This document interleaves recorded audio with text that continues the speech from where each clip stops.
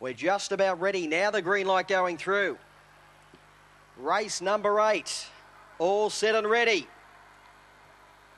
Racing, Tommy Brislane began well. Chica Destacata came out running. She's going to lead by three into the first turn. Zipping Summer, Tommy Brislane go to second and third. They were followed up by Hersey. They're followed up by Bessie Boo Avondale Charm. They're followed up by Silent Effective near the tail of the field. They're working off the top turn and it's Chica. Chica Destacata going great guns. Tommy Brislane second, then Hersey. But Chica Destacata's going to blow them off the park. Big win beat Tommy Brislane, third silent effective, fourth a toss-up. Bessie Boo, Evil Punk, then Hersey, and Zipping Summer, one of the tail enders with Avondale Charm.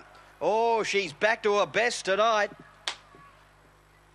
She is back to her brilliant best.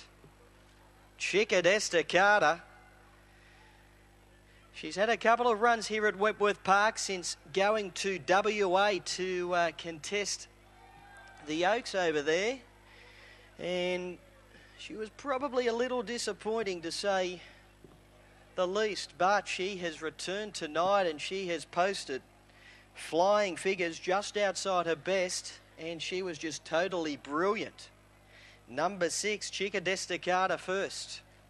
Eight pink, Tommy Brislane second. Two black and white, silent effective, rattling home at the end to grab third ahead of number three, Bessie Boo.